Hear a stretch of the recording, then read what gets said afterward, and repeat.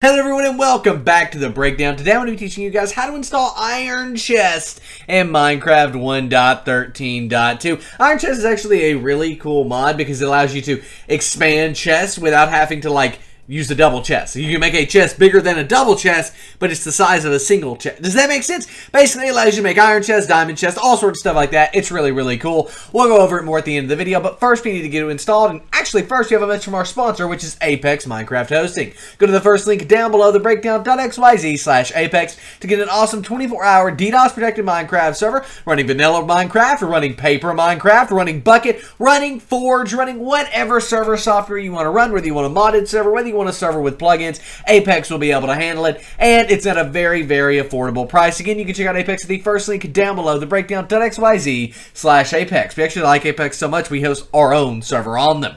Nonetheless, let's go ahead and get Iron Chest installed. The first thing you want to do is go to the second link down below, and it will take you here. This is the Iron Chest download page. Now, before you jump into this, okay, before you just go ahead and click download, you need to make sure you click on File, because right now, as you can see, Iron Chest 1.13.2 here at the top is in alpha. Meaning if you just click on this download button, it's not going to work. You need to click on File, and then you need to come here and make sure that this is for game version 1.13.2, which we can see it is. Then we can click on this little gray download button right next to it on the 1.13.2 version. Now, if you're on Mozilla Firefox, this will open up and you'll need to save the file. If you're on Google Chrome, it'll be in the bottom left and you'll need to keep the file down in the bottom left down here. It is 100% safe to do so as long as it ends in .jar and begins with Iron Chest, which this one does, so we can go ahead and save. Once we've done that, the file will download, but we're not done downloading yet. We still need to download Forge, which you can find at the third link in the description down below. Go down there, click that, it will take you here. And this is actually our tutorial on installing Forge.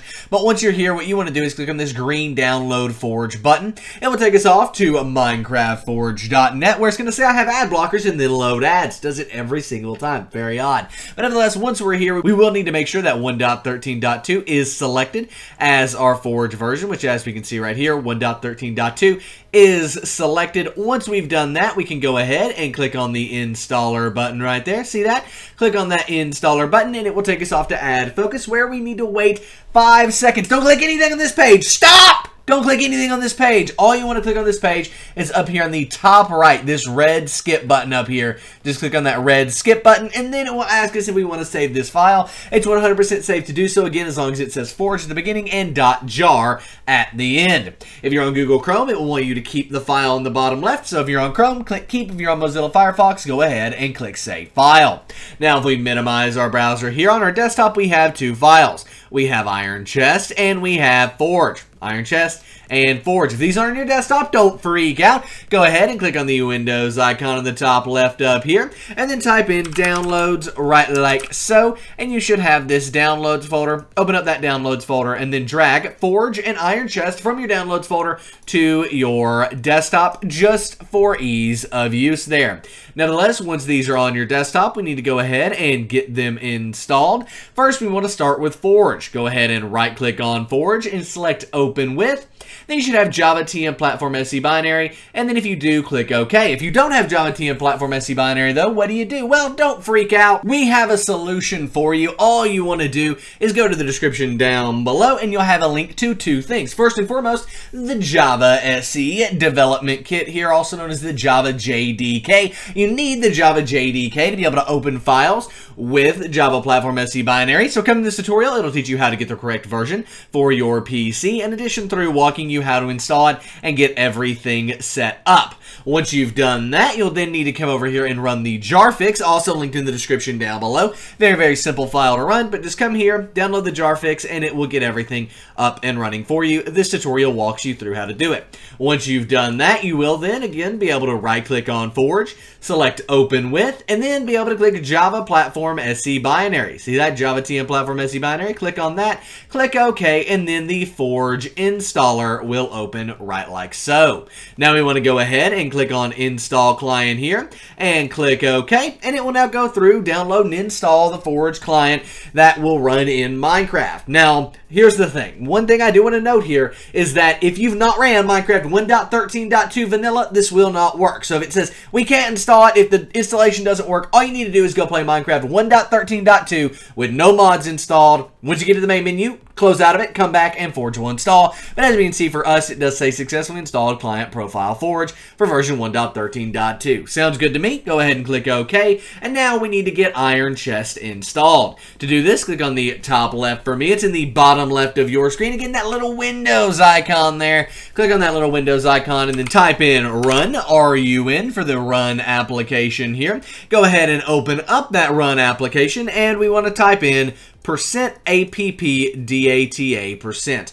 Percent app data percent exactly like that. See that? Percent app data percent. Type it in right like that and then click OK. Then we'll have a folder open up here where we want to go ahead and go into the .minecraft folder and then we should have a mods folder. But Nick, what if I don't have a mods folder? Well, no worries. Just right click, create a new folder and title that new folder mods. M-O-D-S, exactly like that, all lowercase.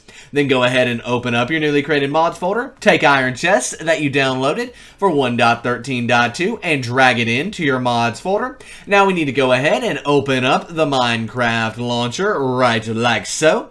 Once we're in the Minecraft launcher here, we should be able to click next to the play button and we should have a Forge profile. You see this Forge profile here? If you do that, you can go ahead and click play. However, if you don't have a Forge profile, what you want to do is click on the three lines in the top right up here and then click on launch options. Once we're in launch options, we want to click add new right here and you can name this whatever you want. I'm going to name it play.breakdowncraft.com. Why am I doing that? Because it's the best 1.13.2 grief protected survival server in the multiverse. Yes, you heard that right. The best 1.13.2 grief protected survival server in the multiverse. Come play with us. It is our own server. It's got jobs, it's got ranks, it's got crate keys, and overall, it's got an incredible community. We've got the best staff around. You won't regret. Just type in play.breakdowncraft.com as your IP, click add server, and then join the best server in the multiverse. Nevertheless, right here, next to version, we want to go ahead and click on where it says latest release or whatever it says next to version, and then we want to select our Forge version. Now, as you can see, I have multiple Forge versions. If that's the case for you,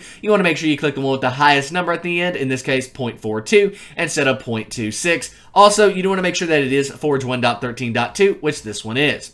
Once we've done that, we can go ahead and change our resolution. You don't have to do this. I'm just doing it so you guys will be able to see once we get in game. Now we can go ahead and click Save, go back over to the News tab, click the little green arrow next to the play button and then find our play.breakdowncraft.com profile right there. And then make sure it does say 1.13.2-forge under the play button. If it does go ahead and click play.